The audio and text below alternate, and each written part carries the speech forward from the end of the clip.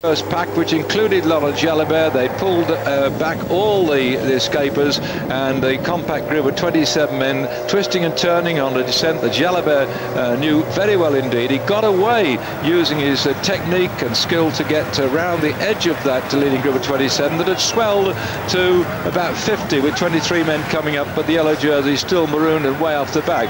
So this three-man group going down into Saint-Etienne. The question was, with two kilometres to go, who would get the victory? And what would happen with the yellow jersey? Because there Rous uh, riding uh, there for the Bonjour team was the best placed man out of this group. He'd started the day only 10 seconds down the yellow jersey which is now way off the back uh, so that the whole situation could change. 10 6 and 4 seconds bonus there up for grabs as Jalabert went for the line going then for yet another victory well over 150 victories to his career and there in front of his uh, wife and young uh, child Jalabert got the victory and the bonus not enough to take the overall lead as this group came in uh, just some 10 seconds behind. Nobody again in contention for the jersey. So the man on the right-hand side, the champion of France, Rous, only in second spot, but he's going to be happy at the end of it all, taking the race uh, leader's jersey. So Saint-Etienne would have been the centre of the French cycle industry for many, many years. The French very much and very happy with the day, with uh, Jalabert